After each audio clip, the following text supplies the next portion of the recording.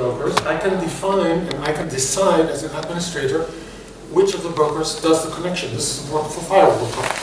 So we can have this broker connect to him, or we can have this broker connect to him. Yep, uh, important for firewalls.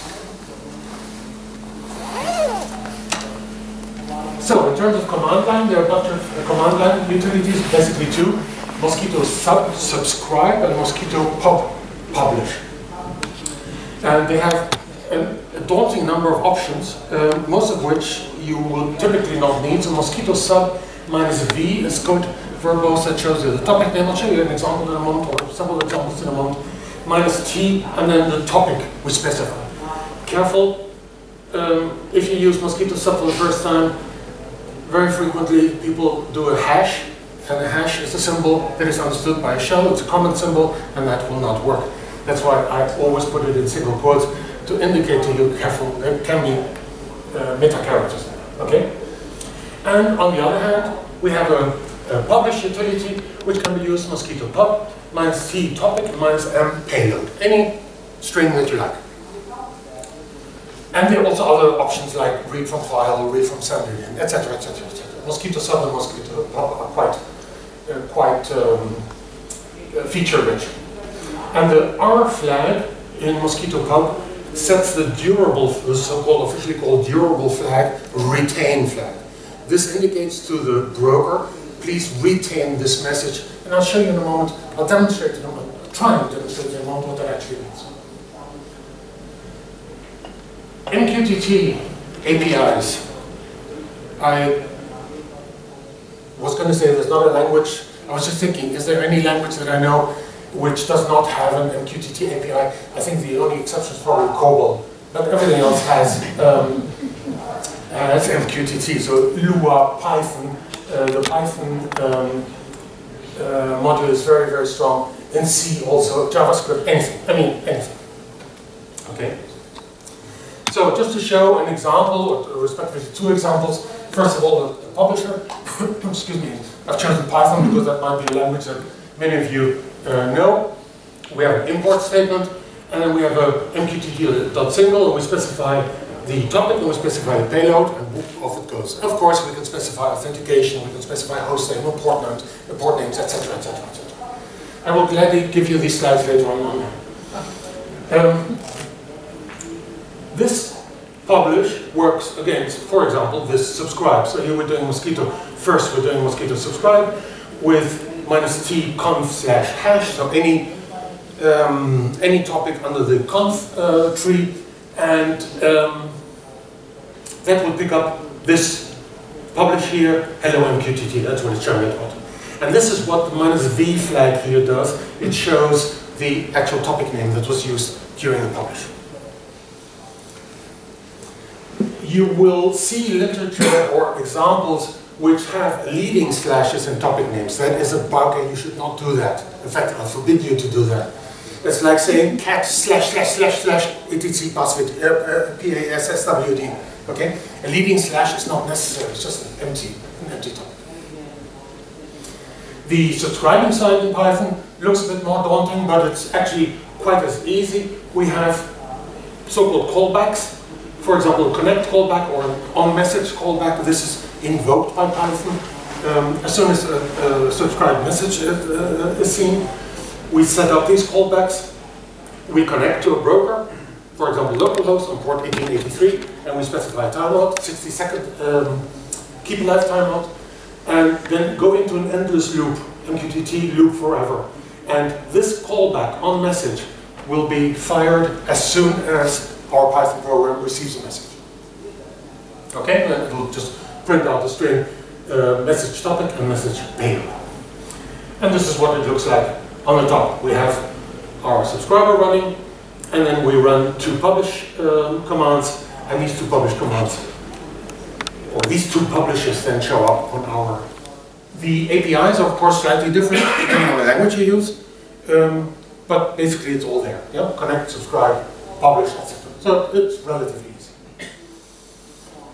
Okay, now let's look at a little bit of hardware. Now first of all, I said that there's a broker running on this, and this is basically what you see here on this slide, it's just a different color and slightly more memory, but it's not, not really necessary. This is a gorgeous little router. Anybody know this? It's, it's an AR150 made by a company called, called GL.iNet. And this I find is so incredible. I got uh, literally the day before yesterday, I ordered 10 of these a small project. Cost 22.83 on Amazon.de, including delivery, of course. Yeah? Next day they will. Um, well, not here. at. Um, you the? I beg your pardon? the the- Yeah, sure. Yeah, yeah, sure. Oh, I've written it down here. GL.iNet AR150. And this company, GL.iNet, have also the models. They're all the same size, or most of them are the same size. Um, they have them with um, uh, built-in, uh, what's called, uh, power over Ethernet. They have them with more RAM. This blue one has a little bit more RAM. They have them with more etc. But, but this is this is just great. And I'm not trying to sell these to you because I don't, but uh, they're just so lovely. I mean, they're just gorgeous, and you, you just you, you know you want them. They're, they're, they're, they're wireless. Officially, they're wireless routers. So um, they, co- they come with a quite nice looking software out of the box where you can uh, connect to, for example, a 3D, a 3G USB stick, etc. And you can do routing with it. And running on here is OpenWRT. So it's a Linux. Yeah, You can do whatever you like. You can install packages, etc. etc. Anyway, so this is from their website, the, the size of the thing, just probably approximately. I haven't checked if it's right. Does it look right? Yeah. Okay, now this is just an example because um, this is just an example because on this thing I did an OPK uh, um, install Mosquitto and I had a Mosquitto broker running. Okay, this is the Mosquitto broker, the open source Mosquitto broker. Now, Mosquitto, you can also have a run on your workstation. You can it consumes almost zero resources. You can run on workstation. There are pre-compiled packages for any distribution today, even for that um, what's it called? Um, Windows. Um, and, and it really, Mosquitto runs everywhere. Okay. Um, right. So that's the broker on the one side. Um, just as an example, if you want things and you want a little extra broker, you don't need this. As I say, you can put a broker on any machine, but but you want this because it's just so sweet. okay, and on the other side, you want a client. You want something that does stuff. So one one example of a thing would be an Intel Edison. An Intel Edison is a gorgeous little thing. This this whole chip that you see here is the size of a small postage stamp. Okay. Now I don't know how your hands are, but my hands are too shaky. I can't do anything with this because you have, I think, here 72 pins or 142 pins or something like that. I can't access that. know. Um, but you have additional boards uh, which uh, allow you, uh, which, which sort of bring out, what are they called, breakout boards, which bring out the pins in different forms, etc.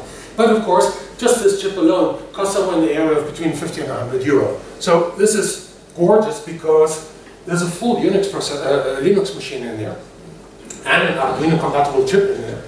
Um, so it's lovely, but it's just it's just too much. It's just too expensive. Okay. So since it's too expensive, what people who want to fiddle around a little bit with um, want something cheaper. And one cheaper thing is this E ESP8266 chip. And one of the uh, models I, should, uh, I handed around to you was one of these. Now, the E ESP8266 is a very low-cost microcontroller which was created by a Chinese company called Espressif. And um, it suddenly took over the world. And I can only hope that there's really only only what we think is in it is in there because E ESP8266 are meanwhile omnipresent all over the world in, in everything, in, in everything. Yeah. So if the low-level microcontroller operating system has some sort of NSA tap in it, then we're all screwed in. Uh, So a low-cost microcontroller, and one of the uh, fantastic things about it is it has a full TCP/IP stack in it.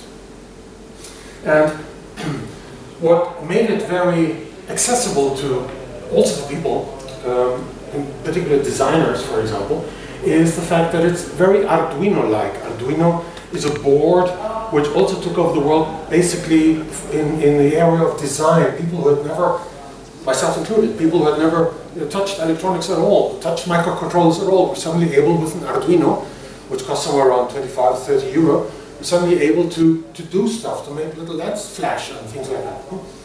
And um, the difference is that the ESP8266 can do all that, plus it has a full TCP IP stack. You gentlemen know what that, what, what that will mean. And this full TCP IP stack comes with an onboard Wi-Fi controller. Okay, with an onboard Wi-Fi controller. Now,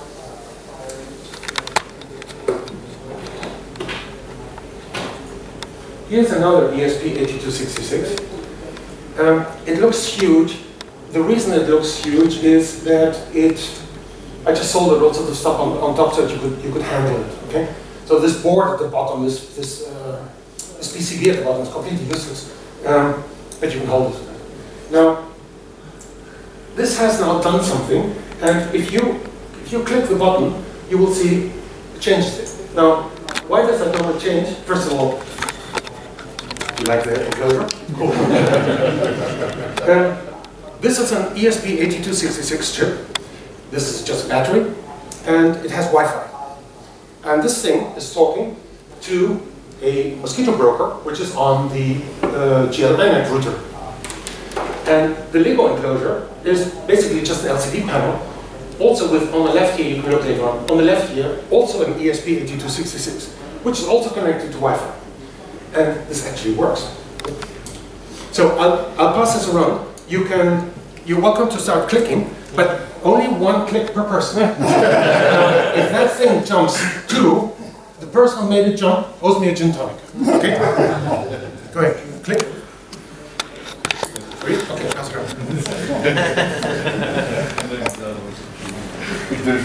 Four? Six, you did it. you will, you might notice that there's a pattern. When I was doing this with my child, who made the actual enclosure for me, she said, um, how about you make it do something strange? And that's why we developed this. Wat is het? Dat is gewoon contactpunten. I beg your pardon? Gewoon. Right. So the E ESP8266 comes in different form factors, and you can uh, let that run around again, and you will you might notice that the thing inside there that's also the same chip that you had uh, earlier. It comes in different form factors, and I don't know if I said, but this is really really inexpensive. And let me prove to you that it is really really inexpensive, and it comes in these form factors and also many more. For example, the so-called ESP01, which costs a euro 50, or an ESP12, which costs a euro 50. Now, I'm, I don't know what a beer currently costs in, or a glass of water currently costs in a bar in Holland, but I'm sure it's more than 150. What does a beer, what does a small pills cost? Two. Okay. So skip the beer tonight we'll do Now, here, careful. I also, when I started off, I ordered, I don't know, 10 of these because they were so cheap. But then I realized that thing that you see there, that is, this is one you had earlier, that is that silver thing in the middle. I can't solder anything onto that. Okay? So it comes in another form factor which is a little bit better for breadboard, uh, called Node MCU. It's the same thing. It's also the ESP chip on there. You recognize the shape there. No? It costs 260, somewhere around 260. No? Um, not necessarily in Europe. Okay, these are these, for example, are Chinese prices, but including first class registered mail uh, delivery to Europe, uh, to anywhere in the world, I think. Completely crazy. Yeah. Dat silver thing is the ESP8266, what's on the left? Uh, that I was dreading that you would ask that question. Um, I'm, I'm not a specialist. I think, or I believe, that this stuff that we see here is actually under that cover. Okay? Um, respectively, it's just sort of the next generation. This was the literally the first generation, and then 12 generations have passed. Okay? But functionally, it's the same. Functionally, it's the same thing. This, this is the, the real chip, the ESP uh, 8266, the same as this one. And this uh, Wi-Fi unit is missing there.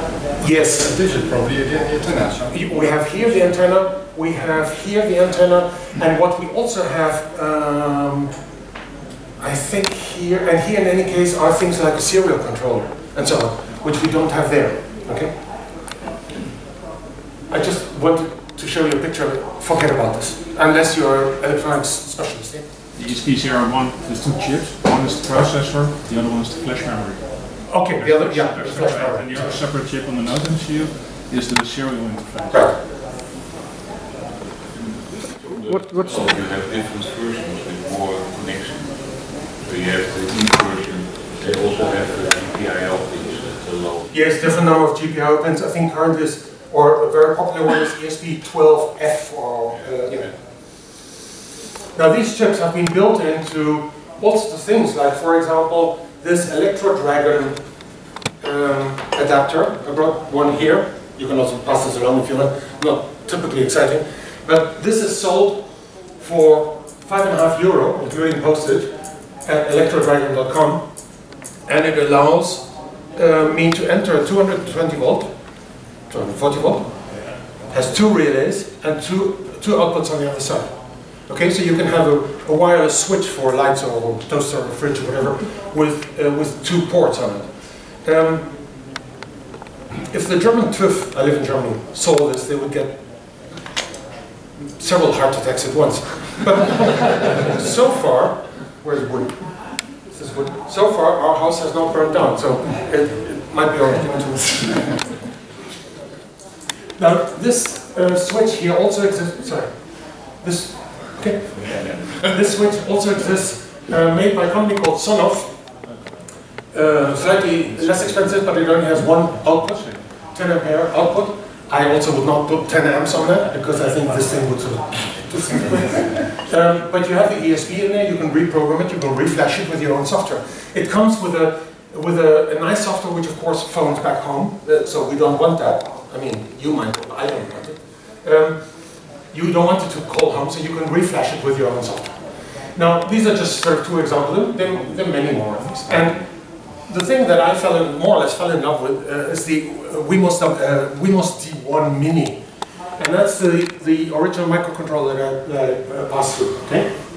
Now, this has a number of ports. It's a 3.3 volt uh, system. Careful, if you've been doing Arduino work, which normally uh, uses 5 volt, careful, you need here 3.3 volt. 5 volt will definitely fry this thing. Um, it has a 5 volt output if you power it via USB. There's a, a mini USB, micro USB adapter here.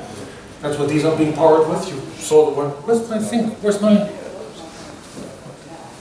Where's my counter? Oh, you're still clicking. Okay.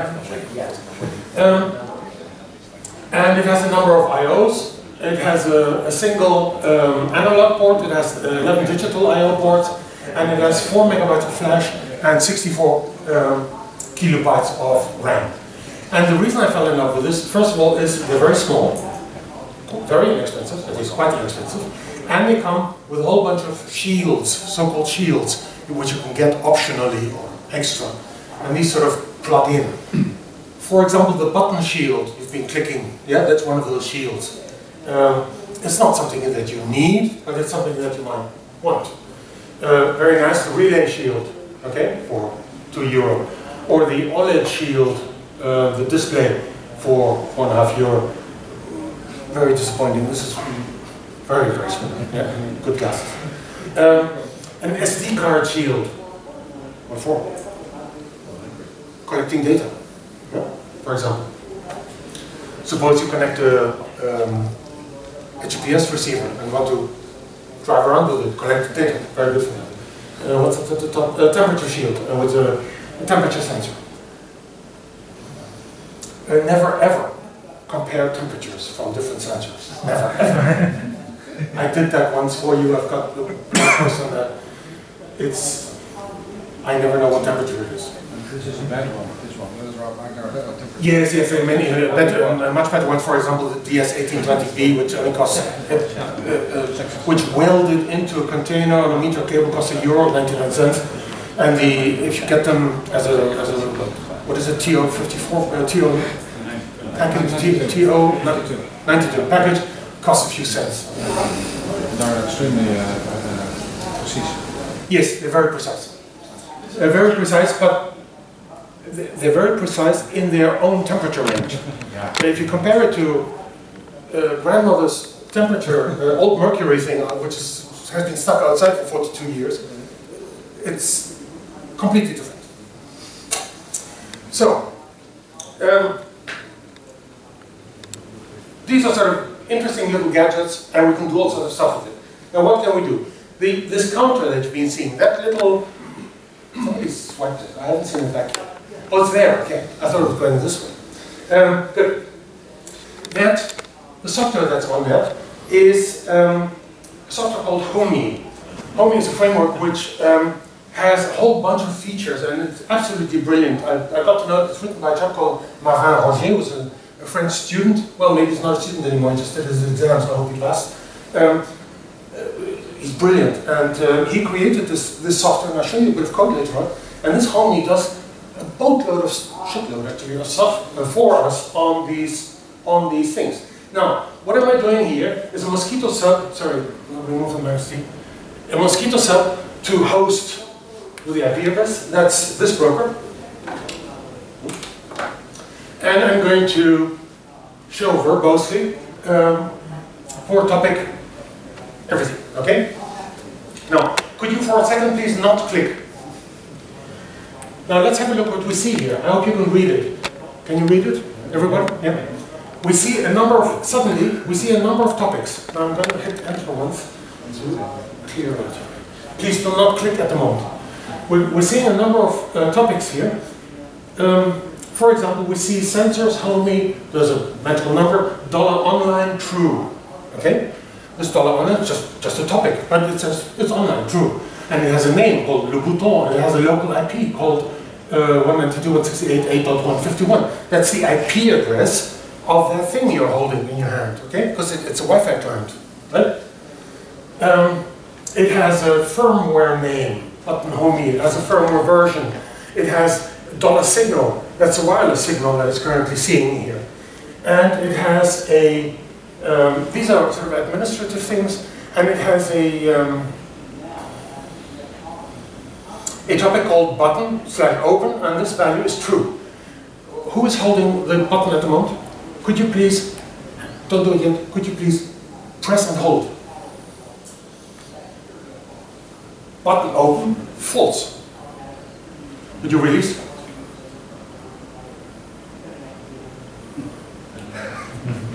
Press the, um, yeah, sorry, my fault. There's a timer. There's a 15 minute second timer. Go click, click, click, click. click. you killed it. no, no, no. Dollar online false. Excellent, excellent, excellent. Don't do anything. Dollar online false. I, at the moment I said you killed it. Dollar online false. What is that?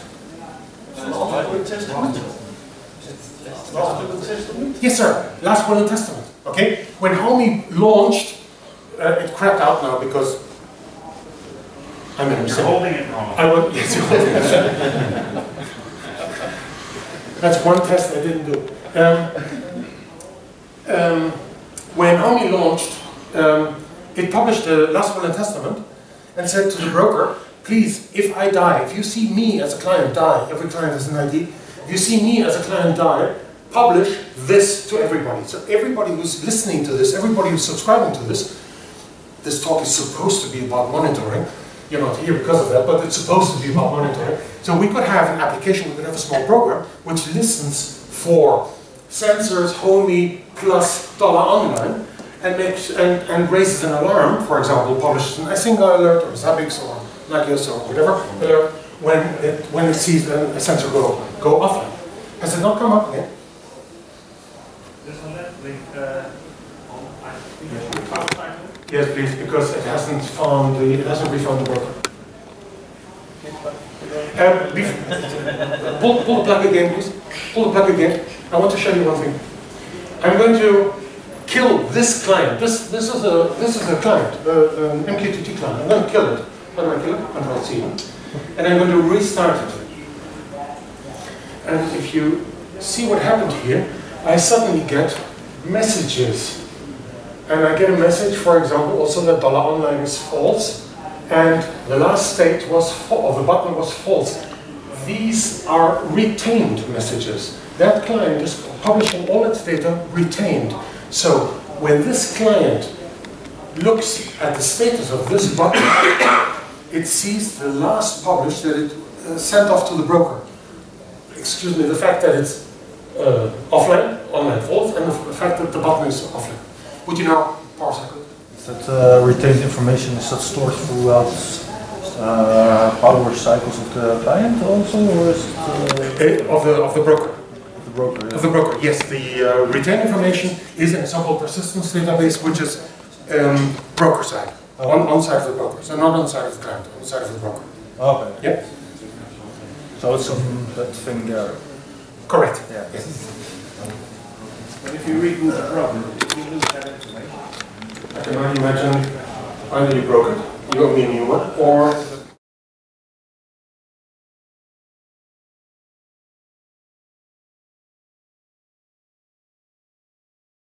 Well, this demonstration is over. Still we have one console. How do you, uh, how do you uh, debug it? Um, what I do is use the Arduino IDE, and then you have a serial, a serial monitor. And over the serial monitor, you can do printfs. Yeah? So he was writing in Lua. I fear that there's. Did you kill the screen? I mean, kill the screen. Kill the screen. Okay, you can go. I fear that maybe it was killed by static. Yeah, That's basically the only explanation. I'll, I'll tell you why.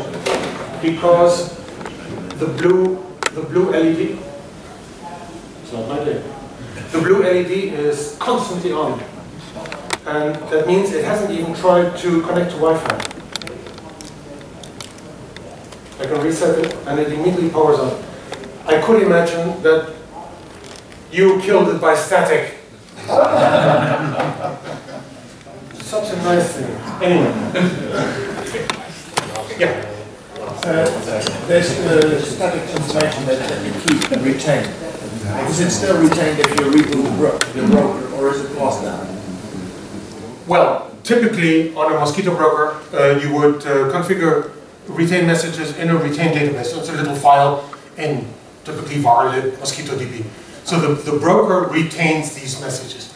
To be quite honest, on this physical hardware here, I have the retained database in slash temp, which is on a RAM disk. So if I power cycle the thing, it goes away. Yeah.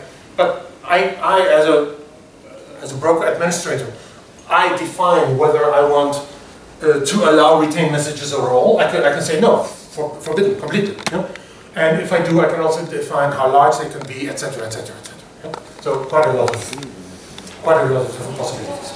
Okay, well, thankfully the thing survived as long, basically as long as I wanted.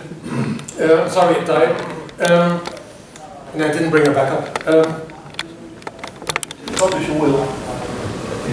Got a will, so. Yes, was published, yeah. and, and, and we saw the will. We saw the will. That, that, this, this thing with the will, many people laugh about it. I think it's, it's really it's really incredibly good because that basically for monitoring all this stuff. And here we're doing little things, no? little hardware things. But we do quite a bit also with, with apps, with applications that do MQTT. And we see whenever somebody hits Control C or reboots a server, we see that those apps have gone away, or they die, they crash, whatever. No? We see that they die. No? And that is, that is very, very, very uh, valuable. Does it imply that MQTT has some sort of timeout mechanism, polling, it's, it's checking on its client? Yes, a client, uh, you might recall, I, I glossed over it in the, um, in one of the Python examples, I said there's a, there's keep alive timer. Oh, yeah, yeah. Uh, let me just go back there quickly. Uh, somewhere here, yeah. And this keep alive timer is on top of TCP. That defines uh, how often or how long a client will sort of tell the broker, I'm, I'm alive and I'm not alive. And so after these 60 seconds, then the broker will say, I haven't heard from this client anymore. It must be dead. I will now publish the LWT. yeah, the last will and testament. And we can also define what the last will and testament is retained or not retained, etc. Um, right, we're there. So, what does this code look like uh, that was running, well, was actually for a while quite successfully running on that button? This is basically it. Yeah? So this is this is a framework called Homie, here by this man called Marvin Roger, Homie ESP 8266. Um, and that's, uh, before I forget, there's a man called Jan Almeroth, the German, lives in uh, Hamburg, I think, who created a Homie clone for Python. So if you if you like doing Python and you like this Homie convention with the topics and so on and so forth, you can have exactly the same thing in Python. Um, so here's here's basically the setup. Um, there's, there's, also the magic in there, Homie set firmware. Um, uh, there's magic in there because we we talked a bit about it and, and, and decided to allow something. I'll show you in a, in a second. But this is basically the whole code. Okay?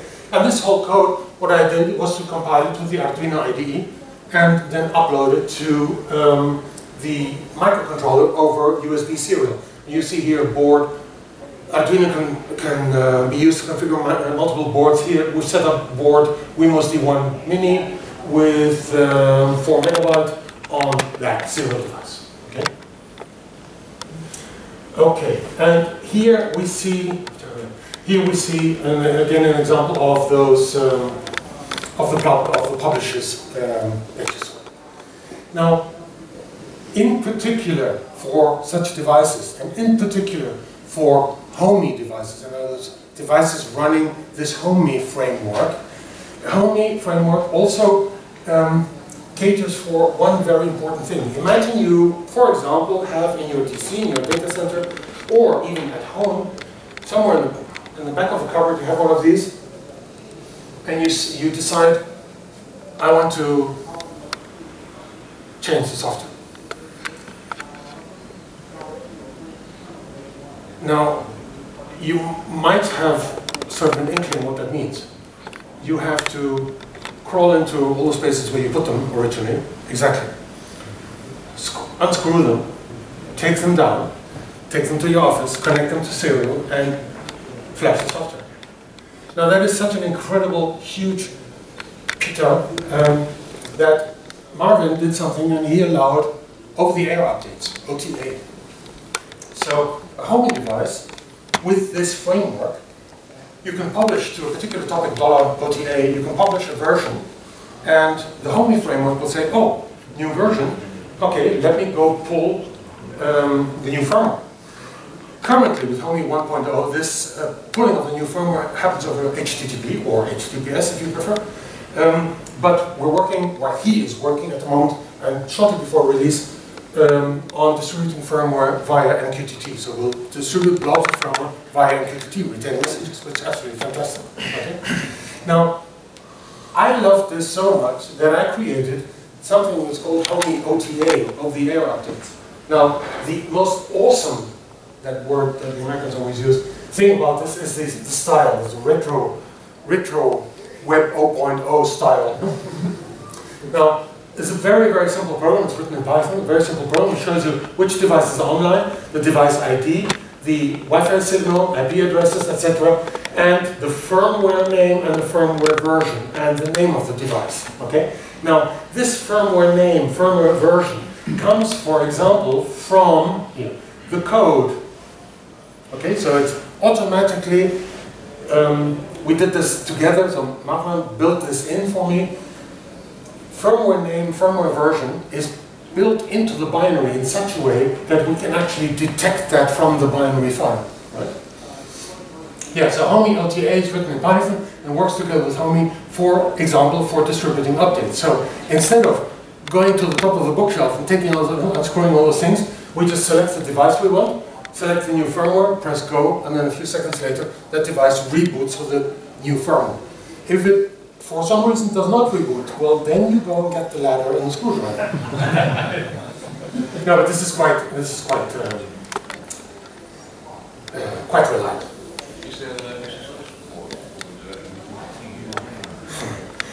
Um, there was support for TLS in Homie 1.0. Um, it was ripped out because it worked.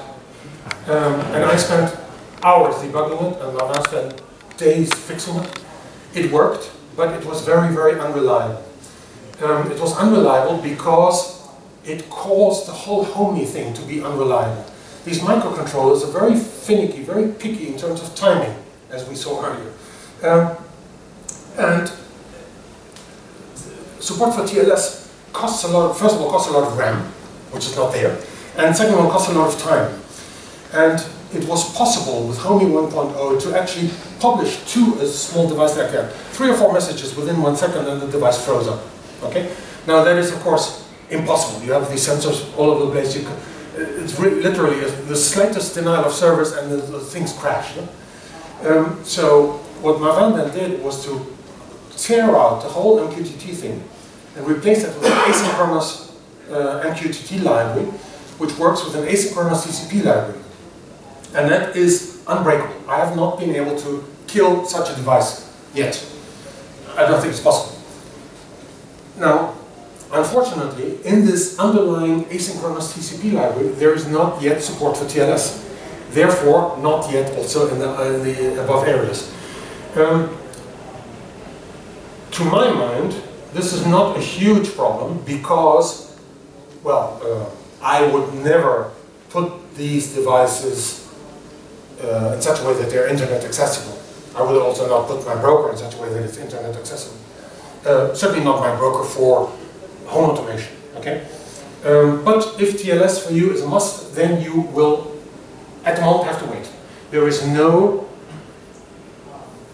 data today, there is no reliable TLS implementation for MQTT um, on ESP8266 chips. It will come, but nobody can say that. Okay. Yeah. Um, is there a way to sign the firmwares? So you were speaking about the over-the-air firmware updates? Um, there is a way, it is currently being developed exactly now by a chap called Mr. Space, that's his uh, GitHub code. Um, not really signing, but uh, with an um, MD5 hash. What we will do is, and there is already support in here, in, in this for it, but not yet in the code, but there's support in here for it, uh, provided by him. Um, what we'll do is publish an MD5 hash. The uh, home device, the microcontroller, checks, does this MD5 device, uh, sorry, does this MD5 hash differ from my own? If yes, then I will pull the code, verify the hash, and if they are then equal, then I will perform the update. If they are not equal, I will not. So that's the only signing that. Not the signing, but the only verification that. Okay, so um, I have to start wrapping up. Um, for monitoring, yeah, all sorts of things, temperature, movement, for example, with PIR sensors, humidity, all sorts of a huge amount of inexpensive sensors that you can use and have and, and purchase to use together with uh, these little chips. Their uh, documentation is relatively good. Excuse me. Um, and then you have also things for integration. For example, Node-RED, which is written in Node. Uh, it's a very nice GUI.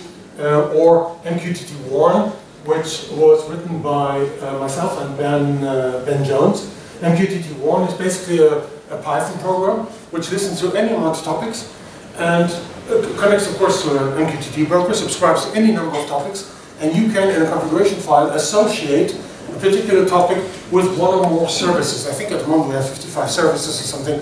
Um, XBMC, pushover, Twitter, SMTP, NNTP, or uh, mail, you name it. File, um, notify my Android, uh, yeah, 50 services. Google spreadsheets, uh, you name it. Um, and more coming all the time. Somebody uh, sent a pull request, I haven't tested it, I accepted it, but I haven't tested it because I don't have one, and I don't run Facebook, but they sent a pull request to provide a service for Facebook messengers, MQTT to Facebook Messenger. And I thought, huh? and he said, yeah, for my wife. That's good enough. Um, so MQTT in the real in the real world, yeah, it's used a lot for alerting, for um, for metering, huge amount of metering systems, um, electricity metering, for example, for logging, location awareness. We created something called OwnTracks, which uses, if you want to listen more, uh, hear more about that, talk to me personally. It's my pet project, um, which does monitoring. And, and uh, Ben Martin wrote just now published yesterday, day- yesterday morning, a, a brilliant article on OwnTracks in uh, on Linux.com. You should read that. It's very very nicely done. Um, MQTT is written for automation, for controlling, uh, a lot for monitoring, and in the wild you'll see MQTT in a whole bunch of software. For example, Graylog. Are you aware? Do you know what Graylog is? Yeah? No?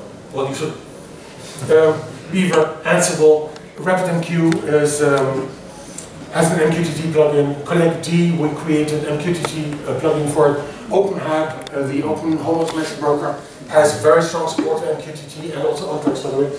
In GitHub, there's MQTT. What for? Anybody ever seen it? When I, on particular topics, on particular repositories, uh, do a commit, GitHub sends an MQTT request. They actually have an MQTT publisher in their, what's it called, um, the integrations page, uh, where you can, that page, where there's Travis and Docker, and where you can set up, whenever a commit comes in, do something for me. Yeah? Call a web service, call this, call that. They also have an MQTT um, publisher. Okay, in Wireshark they support Flukso is um, electricity metering uh, system made by I think Americans, which has uh, native support for MQTT. Remake Electric, a very very nice company. They uh, they're up in the north in um, in um, Sweden. I hope it's Sweden. Um, Carl Paulson does it. Carl Paulson sounds Swedish. Huh? Um, so they also do electricity metering with OpenWRT uh, devices, which do MQTT, of course.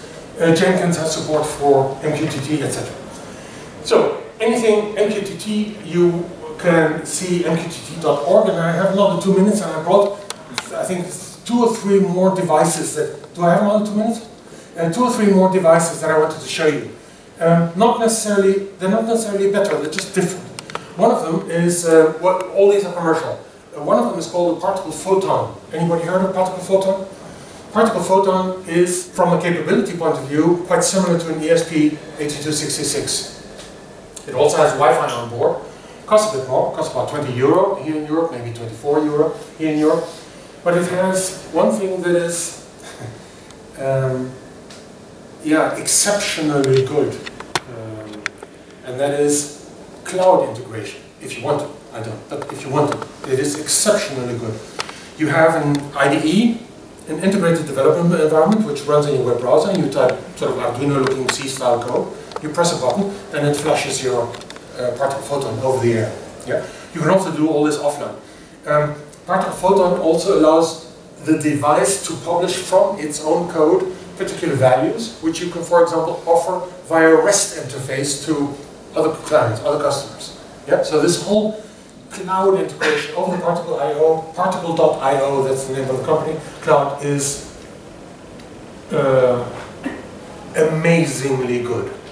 And you don't probably know me very well, but when I say software is amazingly good, that is quite a compliment. This is really, really amazingly good. And the whole thing exists also for um, mobile, a little bit different price tag. This is basically also what a particle photon is. Same house, particle electron. Um, electron comes in three uh, models, a 2G model, which I wouldn't buy if I were you. It comes in an American 3G model, because the Americans, of course, always do everything different. And it comes in a rest of the world 3G version. This is the rest of the world 3G version. It has a u-blox modem on it.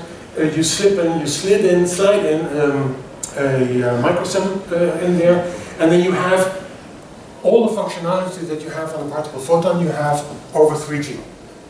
Uh, very good, quite reliable, uh, comes with a, you don't have to use it, but comes with a, they have, uh, they have their own SIM, so they are their own mobile provider. You can use that mobile uh, SIM, um, but that is relatively expensive, so you would probably get your own SIM card instead.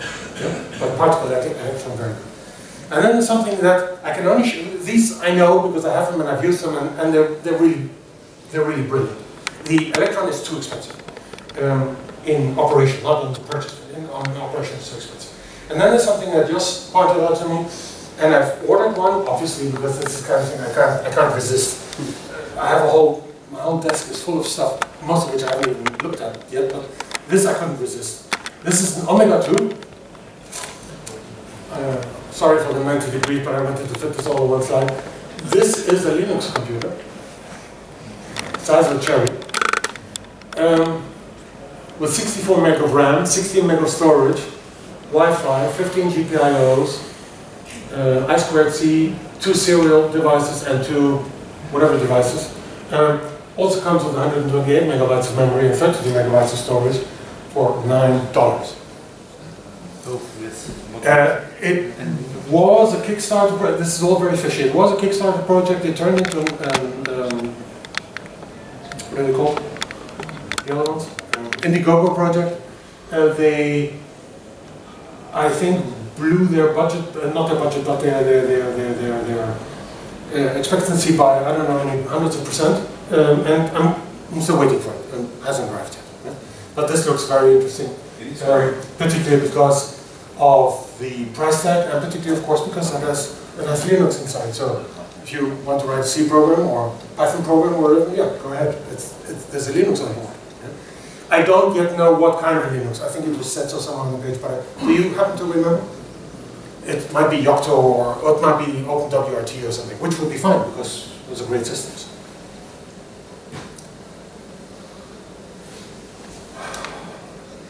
One minute, 15 seconds for questions. Another way is uh, have encryption on your messages, because if you use it publicly, you will have a problem with uh, your identity if you want to have. Oh, yes, of course. Um, yes, certainly. You can uh, encrypt the payload with whatever means you wish. So, um, there are libraries to do encryption. I mean, crypto is, of course, very difficult, but there are libraries, more is good, which will do encryption for you. So, if, if you, quite, quite right, and good that you pointed out, thank you. If you cannot do TLS over the wire, because, for example, the library doesn't support it, then, of course, you will do payload encryption. And then the world is open to you. You can do use whatever you like. What is useful is Mosquitto and DESP. Because you have to make a connection to Bell if you use Mosquitto. Uh, what uh, kind of encryption is the best to use between Mosquitto and your ESP? There, there is no best. Let me shortly go back, please, to this picture here, for example. You have a client. This is your ESP, which is connecting to your broker. The broker does not need to know how your client encrypted the payload. Uh, you also Your other client needs to know. But you also want to uh, have uh, your topic uh, enhanced with. No, you no, you would not. Okay, understood. You cannot encrypt the topic. Well, you can, but then of course the topic is encrypted. I mean, it's UTF-8, so you probably could. The, the, broker would just see an encrypted topic name, blah blah blah, and would, it would handle it like any other topic name. It's just you couldn't you couldn't see it. yeah? But of course, you would need a client which knows how to decrypt those messages. Okay. I look for uh, the way to uh, use public uh, ESP without making your existence on publicly available, like TLS. Uh, yeah, that's the kind of thing that I have horror for. Uh, uh, I, I'm very wary of using public internet service providers or internet services for data which is basically private. If you have to do that, my recommendation would be set up a VPN and do it then over the VPN. Yeah? But if it's if it's privacy relevant data, it doesn't belong on the internet, and certainly not uh, unencrypted. I think we agree on that. Fine. You have a question? Yeah, I was wondering uh, what's your experience with uh, interference? Because Wi-Fi channels tend to have problems with that. Um, well, my experience, of course, in a home surrounding, no problems. And how many devices have you tried on your network setups? Um, ESPs, I think, uh, currently some, uh, or the, the most I've had online uh, due to a simple problem, power, um, power cords, were somewhere around 75. No problem. no problems. Have you also experienced it with 866 megahertz, as in uh, versus uh, Wi-Fi? Um, I played with it, I cannot say experience. Wouldn't be fair. Uh, of course, Wi-Fi and TCP IP over Wi-Fi gives us a lot more capabilities than 866 megahertz where we just send a few bytes. Yeah. I think we have to uh, wrap up. Okay, I'm sorry, we have to wrap up, but if you're, if you have more questions and we see each other outside for a coffee, I'll, I'll gladly talk to you. Thank you very much for your time.